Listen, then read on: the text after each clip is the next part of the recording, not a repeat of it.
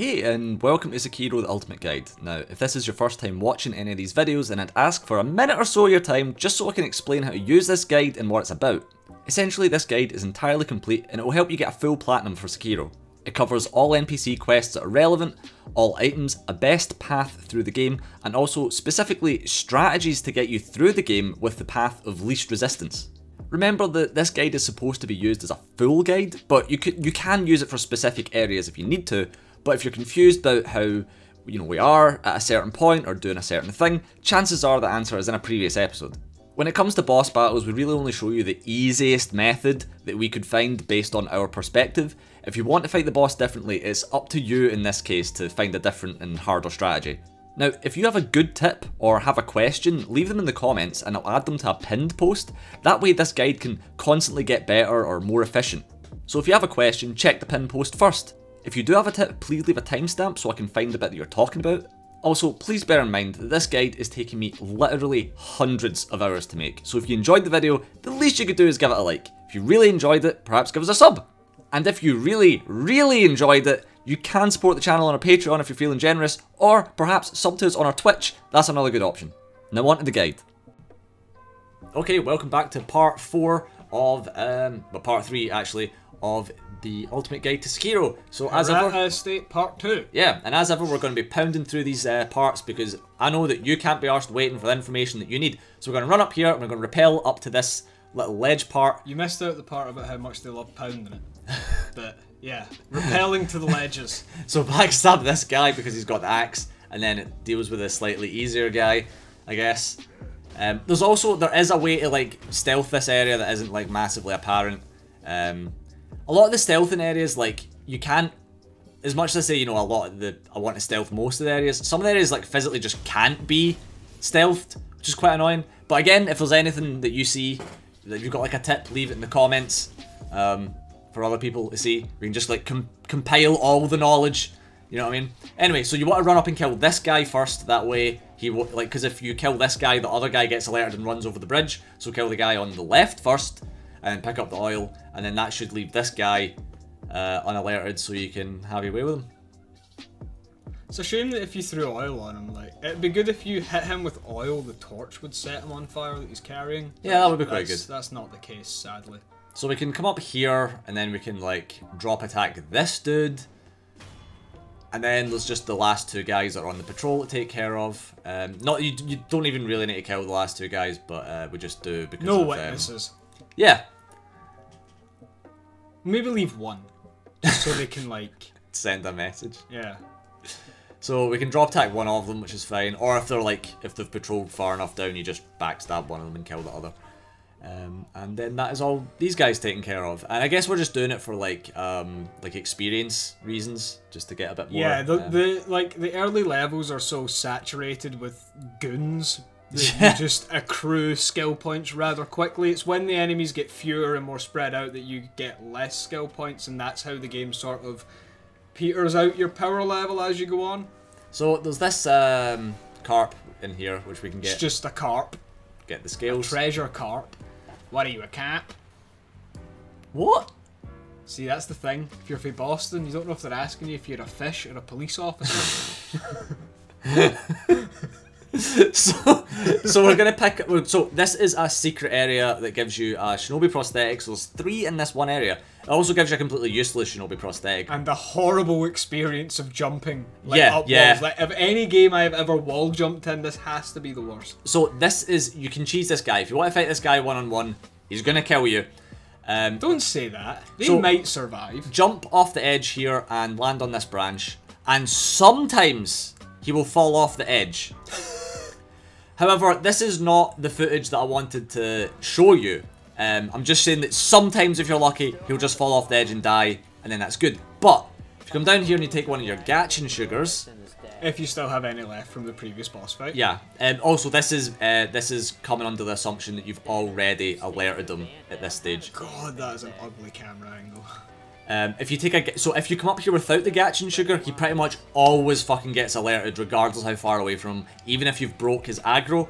But you take the Gachiin sugar, then come up, and he won't notice you. This Or- took me so long to figure out. Or when you come back later and you have your stealth skills unlocked, he doesn't aggro immediately when you got him.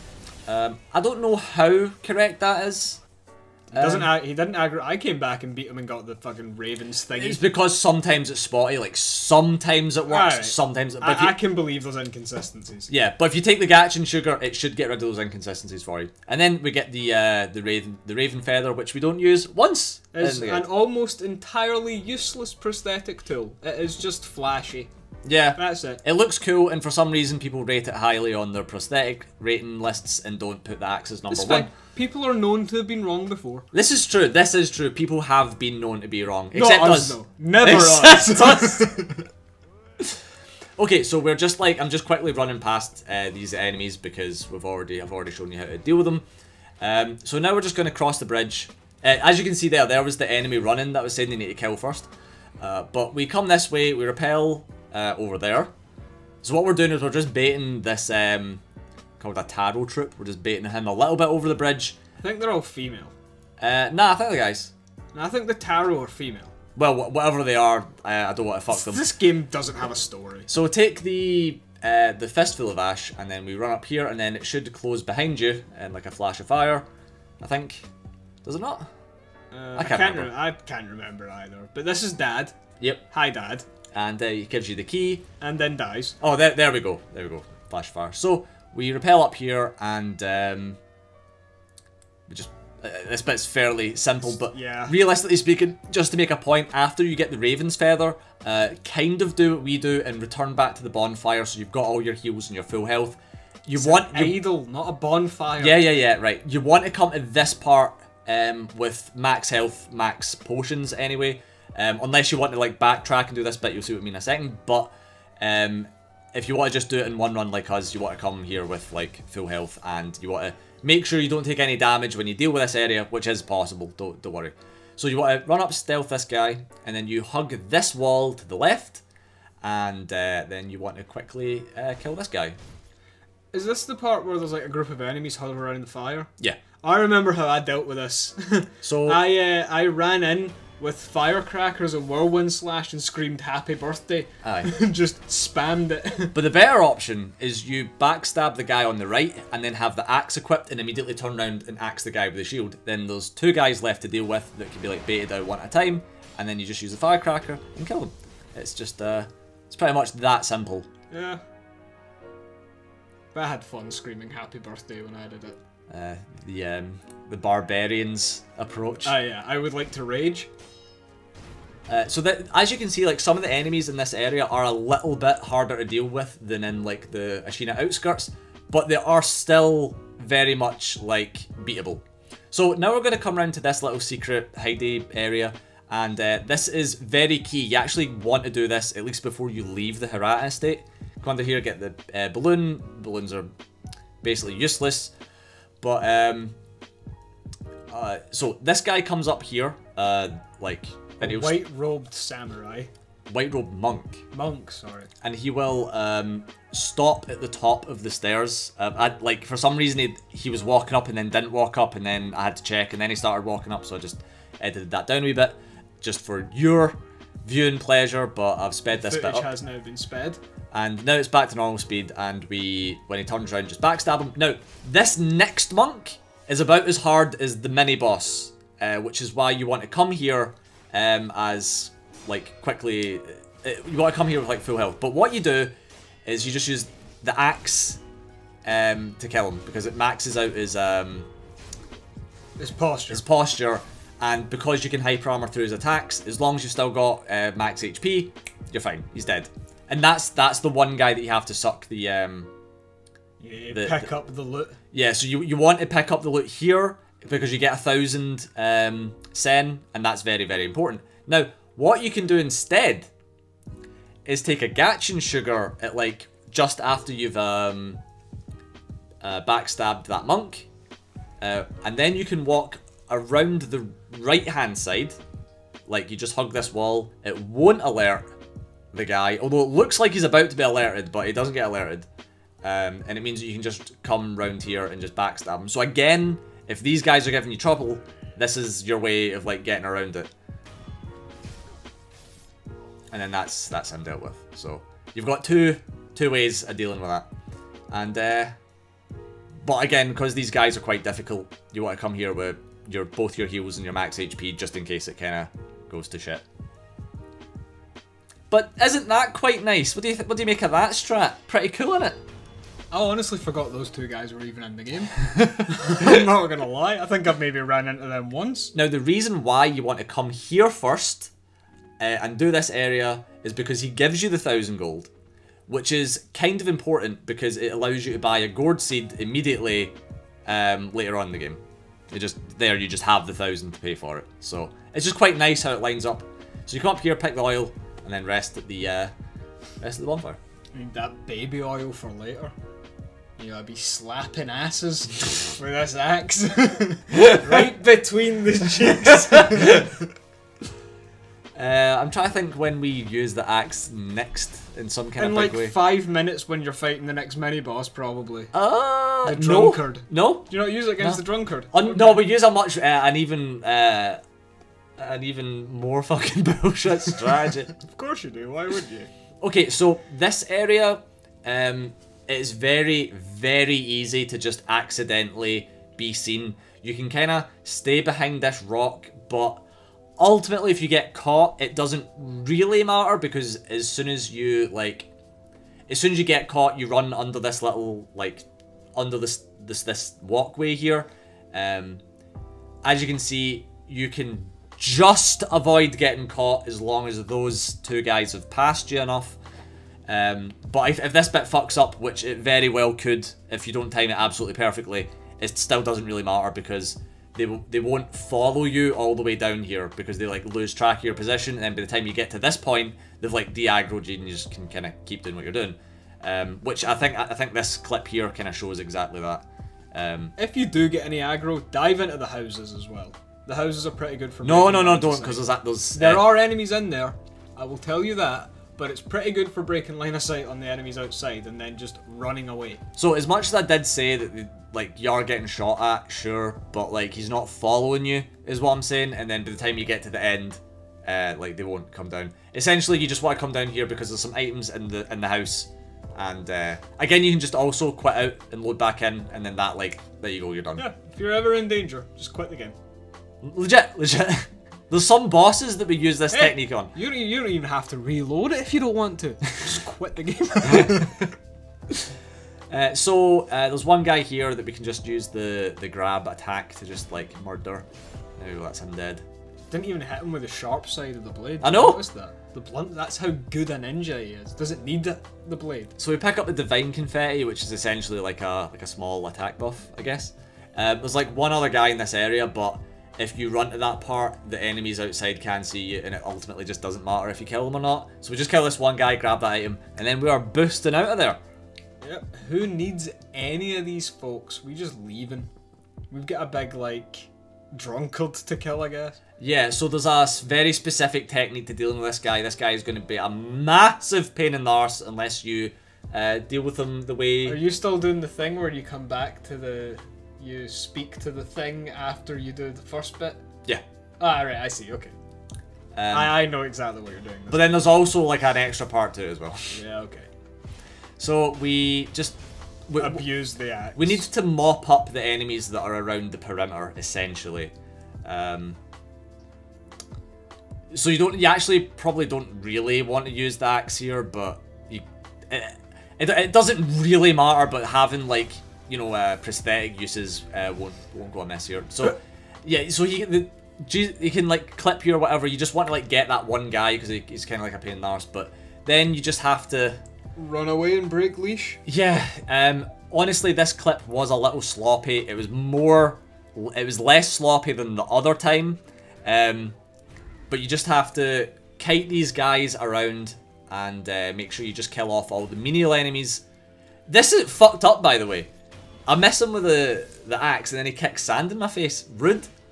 I mean, he did have a bow out, and you have a sword. What's he gonna do?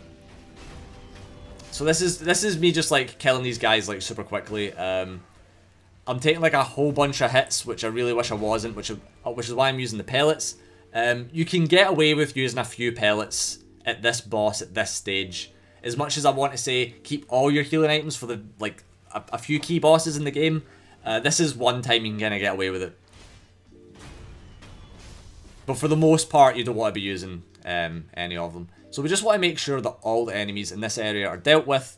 Um, as much as this was kind of sloppy, this is essentially the technique. Just avoid getting hit, avoid the big guy, and just kind of kite the enemies around until Juzou. they're definitely dead. Yeah, That's Juzou. Juzou the drunkard. And he do be drunk. Yeah, I, I knew there was one last fucking And guy, he so... do be Juzou. So you got one more menial enemy to deal with. And my god, did he put up a fight? So I like so this was super risky. Like I had to I iframed through that. That that was like super sloppy. I, I'm sure you can do a better job of it. But ultimately, that's all these guys did. So now what we have to do is um we need to quit out and load back in. Um, but we have to do it in a certain way. What we have to do is now run away and break the aggro leash for Juzou. And then once that's done, I'm assuming you're going to get the free health bar off of him. Yep, which Yep. you can do. It's not apparent, but you can do it with this guy. And this this makes him like super deal withable. If you want, you can try beating him uh, just one on one with two health bars. Very difficult. However, we're not going to fight him one on one. We actually get a little bit of help. And if it wasn't for this guy helping, I don't know if I would like really even suggest uh, doing this. But yeah, this is a pain in the ass. Nah, Um, fight him and Lady Butterfly at this stage in the game. No, no, no, or no. no balls. yeah, okay, or no balls. Yeah, it's, it's up to you. So as you can see, I did. um, it, it can be a massive pain getting this guy to de-aggro. The reason why I kept this footage in was because if you're having a bit of an issue doing this, I just want to show you that like this is doable. Because if I showed you like perfect footage and you're like, why is this not working? You might just give up. But ultimately, I'm like, nah, nah, nah. I want to show you it working. So we've got rid of his aggro, and um, then we just uh, quit out and load back in, and he should uh, show up in the right place. For some reason, I didn't cut out this particular loading screen, and I, I, I clearly have missed one. and I'm very fine. disappointed. We're reading a very interesting title card about a death blow. So that Now proceeding on your way up to Juzou as the uh, screen times out and goes black on us. yeah. Okay, so there we go. There we go. So he should be, um, Back in his like usual sitting place, like up at the front doors. which is again not where we want him to be, which is very very irritating. It's because you quit and reloaded. What you want to do is break his aggro without quitting and reloading, and because when you quit and reload, he respawns in his starting No, position. no, no, no, no, no, no, no, no. Trust me.